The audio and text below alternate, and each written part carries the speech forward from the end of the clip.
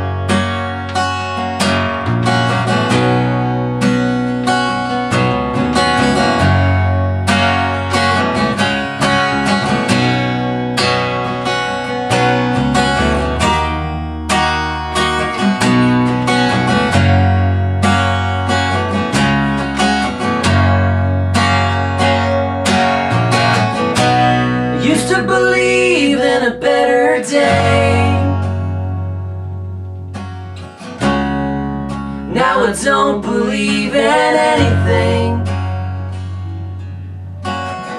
Gave it all away. And what I get in return, I got broken, I got busted and burned. Yeah, and I got burned. Not the first time that that song has appeared on this channel, actually. I remembered that as we were playing it. I was in a Dig Dug t shirt playing at the uh, Coyote Country KXLY studios, actually, last time. I don't know if I ever identified that that's where I was, but I was at my job It was right before we left on a little mini tour or something, right? where we Maybe? went 2,757 miles. Yes, two- 2757. Um, That song, Broken Busted Burns, the third song on the new album. If you have our uh, demo, or actually it was a little mini release EP, we made 100 copies of it, and that was on there. Yeah.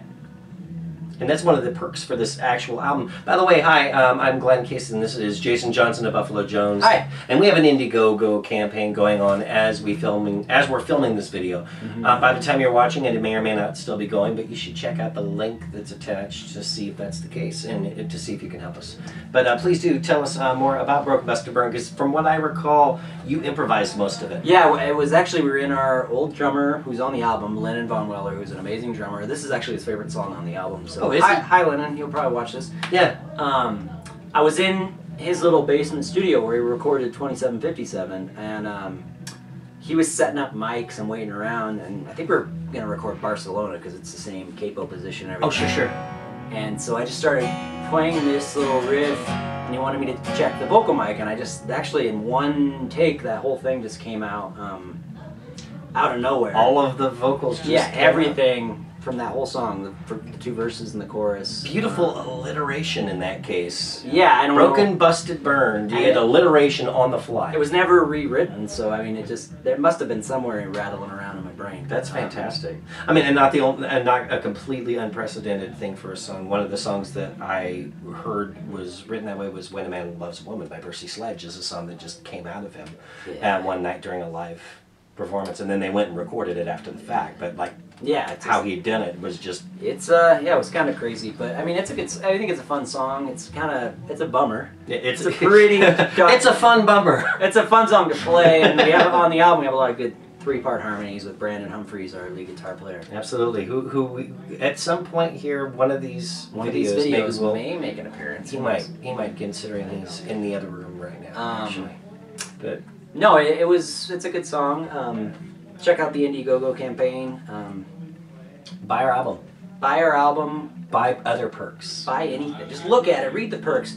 If you just want to spend five bucks and hear the whole thing, do it. That's fine with us. And if you want to spend zero dollars, just tell your friends. yeah, spread the word. Tell your enemies. Um, we talked about it in previous videos, but yeah, we're just trying to basically whatever you order, we're gonna buy. So um, it's just we're doing this so that we can have the money in beforehand before we put it out there to get the CDs made. Uh, Regardless of how you look at it, the album will be made. It's actually already done, and if you buy the digital copy of it, or something that includes the digital copy, which I think is every package above five dollars, Yeah. then you'll get the MP3s within 24 hours. Generally, pretty quick. Like I, I see the email on my phone, I go in there and I send it. Usually, it's within 10, 15 minutes, but I mean, you never know. It's gonna. I might be on the toilet or. Uh, Yeah. Well, that's especially when you'd send it, right? Yeah, I generally send them from the toilet. Yeah, Even if. I don't have to use it, I run in and send it from the So every every album's from the toilet. and on that note, Yes. thank you for watching, you. and we'll see you next video. Jesus. I'm feeling it's gonna get a little even worse than